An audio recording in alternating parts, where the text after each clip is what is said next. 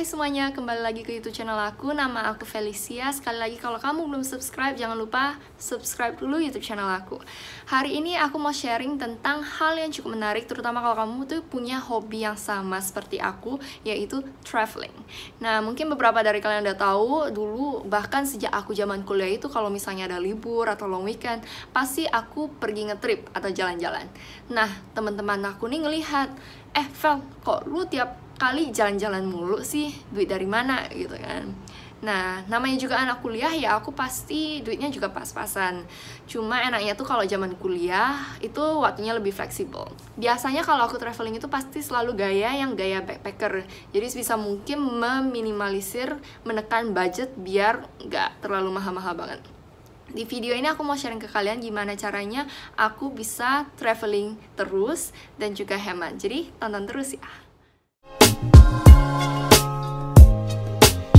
Oke, kita tahu ya kalau misalnya mau traveling itu budget yang paling gede kita keluarin itu pasti di biaya tiket pesawat. Di Indonesia sekarang udah banyak ya yang namanya tuh budget airlines atau maskapai murah. Salah satunya AirAsia. Aku tuh bukan endorse ya atau bukan apa-apa tapi aku memang sering banget pakai pesawat AirAsia karena mereka tuh memang sering promo. Promo AirAsia tuh dulu tuh gila-gilaan ya. Aku tuh sempet dapat tiket pesawat dari Jakarta Surabaya 5000 doang. Surabaya Bali 5000 doang. Jadi dari Jakarta ke Bali cuma 10000 aja. Itu mah lebih murah dari naik angkot kali ya. Uh, kemudian juga pernah dari Makassar ke Manado naik AirAsia pas lagi promo tuh kalau nggak salah 150.000 pp pernah juga dapat sampai ke um, apa Thailand atau Kamboja Thailand kalau nggak salah juga 150 ribu sekali jalan nah untuk beli tiket pesawat promo ini juga ada trik-triknya. Pertama, kamu harus subscribe dulu atau berlangganan newsletter maskapai tersebut. Jadi kalau misalnya mereka lagi ngeluarin promo, kamu bakal dapet infonya itu lebih awal. Pas sudah tahu nih kalau udah mau promo, kamu tentukan dulu uh, destinasi kamu mau ke mana dan juga kapan kira-kira?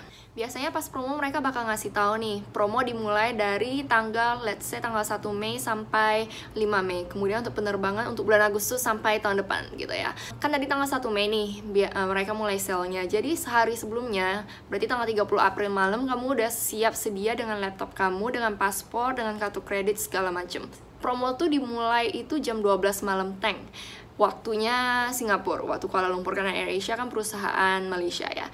Jadi kalau kita di Jakarta itu berarti jam 11 malam sehari sebelumnya itu udah mulai promo. Pas udah mulai kamu langsung nyari destinasi kamu, tanggal berapa gitu. Nah, kamu bisa geser-geser cari aja yang paling murah.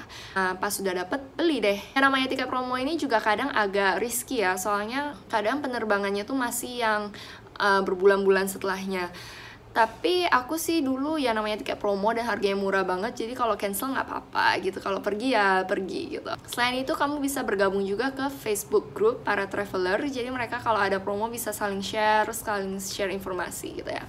Oke cara yang kedua adalah nyari hotel murah Aku biasanya kalau booking hotel itu di situs yang namanya booking.com.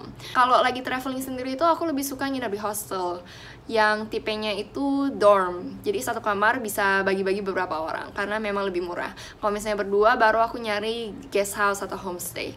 Untuk penginapan sih aku nggak terlalu picky ya, yang penting bisa tidur aja soalnya uh, kan seharian pasti keluar. Selain itu, enaknya di hostel kamu bisa ketemu juga traveler lain yang juga uh, mungkin sendirian, jadi kamu bisa ngajakin traveling bareng. Nah, pas masuk website booking.com-nya, kamu urutin aja harganya dari yang paling murah, kemudian cek ratingnya itu yang aku sukanya itu 8 ke atas gitu.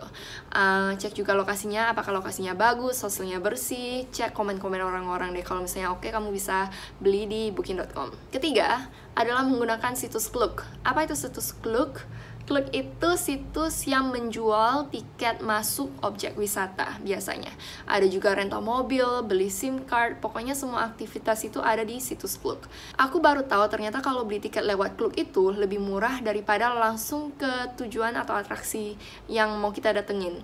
Jadi pengalaman aku pas uh, pergi ke Gardens by the Bay itu kan ada konservatori tiket. Harga tiketnya kalau aku langsung datang ke tempat itu itu 28 dolar. Kalau aku beli di klub harganya 23 dolar. Jadi hemat 5 dolar itu kan lumayan banget ya satu orang gitu. Jadi kalau kamu ke mana-mana ada mau masuk ke atraksi mana coba cek dulu di klub. Misalnya kalau lebih murah mending beli di klub aja deh. Kamu juga dapat tiket online jadi pas udah nyampe di sana nggak perlu lagi ngantri untuk beli tiket Oke, okay?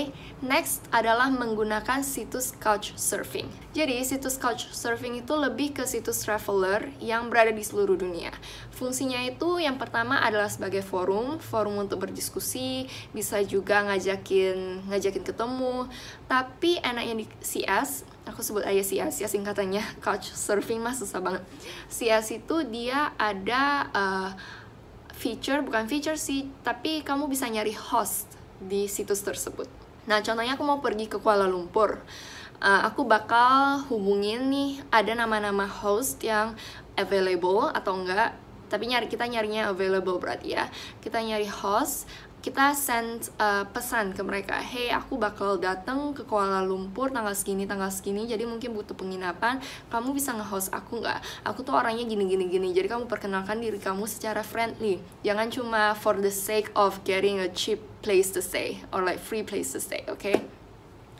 Uh, setelah itu nanti kamu bakal nunggu balasan mereka. Kalau misalnya mereka emang bisa ya berarti kamu bisa nginap di tempat mereka gratis. Sekalian bisa kenalan nambah-nambah teman baru gitu ya. Sejauh ini sih pengalaman aku di couchsurfing sih positif-positif aja ya. Nggak pernah ada kejadian yang gimana-gimana banget. Nah tipsnya itu kamu uh, setiap profile member itu ada yang namanya reference. Misalnya komen orang-orang atau pendapat orang-orang tentang mereka. Jadi nyarinya itu yang punya banyak referensi dan juga referensinya yang positif-positif oke? Okay? uh, couch surfing ini berguna banget sih. Dulu aku tuh udah make di mana-mana. Di pernah di Korea pernah di banyak deh pokoknya aku tuh anak CS banget dulu. Next adalah dengan cara volunteer. Akhir-akhir ini aku paling suka dengan cara volunteer ya. Karena aku kalau traveling memang sukanya itu sekali jalan tuh sekalian lama gitu bisa berbulan-bulan gitu ya. Jadi dengan um, volunteer ini pengalamannya itu lebih berbeda dan kamu tuh lebih tahu tentang uh, kondisi atau budayanya orang lokal tersebut. Konsep volunteer ini, kamu akan menukarkan jam di mana kamu harus bekerja atau membantu gitu ya, membantu si host. Sebagai gantinya kamu dapat penginapan. Ada dua situs yang biasa aku gunakan untuk nyari kesempatan volunteer itu, ada yang namanya Workaway, ada yang namanya HelpX. Untuk bergabung ke situs ini, memang kamu harus membayar membership fee. Kalau nggak salah setahun itu kurang lebih 40 dolar. Berarti sekitar 600 ribu lah ya. Baru kamu bisa apply program volunteer. Uh, tapi sih sebenarnya kamu bisa akses saja situsnya secara gratis. Kamu bisa baca-baca dulu cari-cari dulu mana tahu ada program yang cocok baru kamu membayar membership fee-nya ya. Pekerjaannya tuh beragam. Aku sempat volunteer di kebun. Sehari itu kerja 4 jam uh, libur dua hari gitu ya. Weekend libur tapi aku bantu mereka mengerjakan pekerjaan yang diminta contohnya cabut rumput uh, ngasih makan ayam pokoknya seru sih.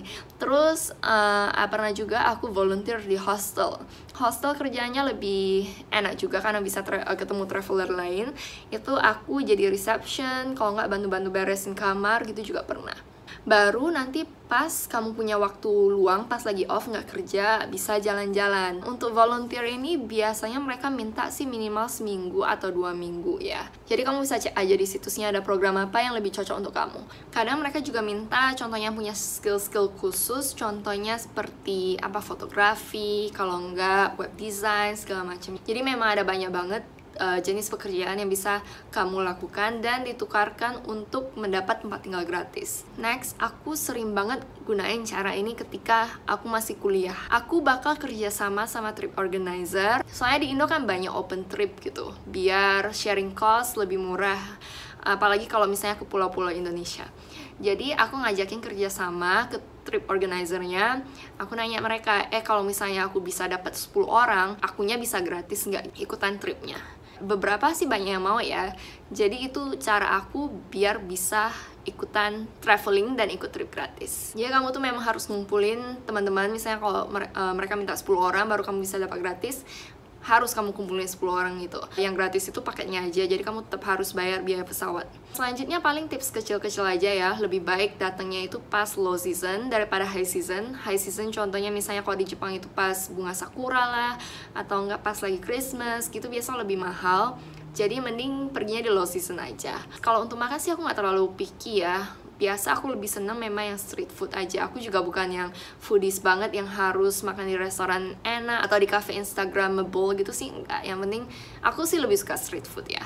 Uh, next nggak usah terlalu banyak belanja. Memang ada beberapa orang yang hobi shopping ke Thailand pengennya beli souvenir lah. Kalau ke Korea pengen beli apa namanya skincare. Kalau misalnya itu bisa dijadiin jasa jasa tip ya nggak apa-apa. Tapi aku pribadi sih nggak nggak suka yang belanja belanja gimana gitu. Sebaiknya juga kalau jalannya kamu gunain transportasi umum aja. Kemudian pergi aja ke atraksi atau wisata yang gratis itu bisa menekan budget kamu juga. Kemudian sebaik mungkin rencanakan perjalanan kamu.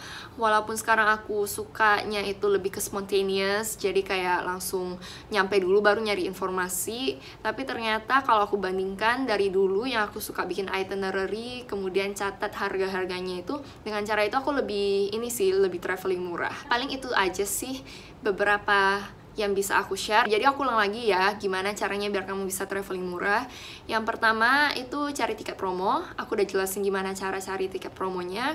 Kedua, booking hotel murah itu aku lewat booking.com. Ketika beli tiket atraksi di Klook.